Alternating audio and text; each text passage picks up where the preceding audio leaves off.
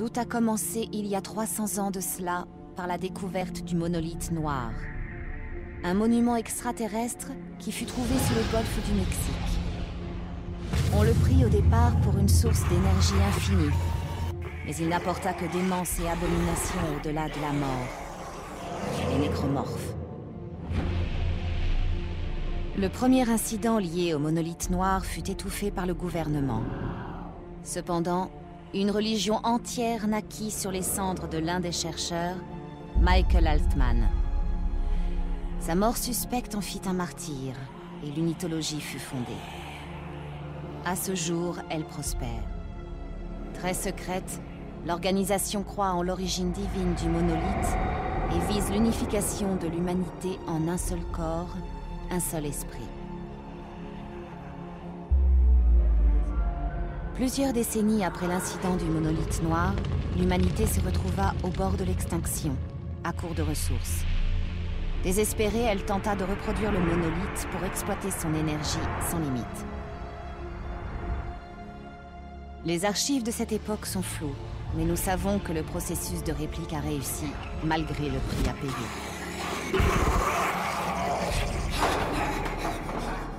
Les copies du monolithe furent enfouies, cachées dans les recoins de l'univers, ou dans notre intérêt, elles auraient dû rester. 200 ans plus tard, lors d'une opération de forage illégal sur Régis 7, le brise-surface USG Ishimura trouva l'une des copies, le monolithe rouge. Cette découverte marqua alors le début d'un nouveau cauchemar. L'un des survivants de l'incident était un ingénieur du nom d'Isaac Clarke. Le monolithe lui avait parlé et avait implanté dans son cerveau les plans du monolithe original. Isaac fut torturé par le gouvernement, son esprit analysé à la recherche des secrets du monolithe.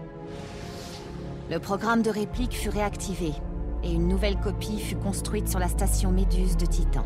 Le désastre ne tarda pas. Isaac put s'enfuir de justesse. Il ne restait rien derrière lui, comme sur Aegis 7.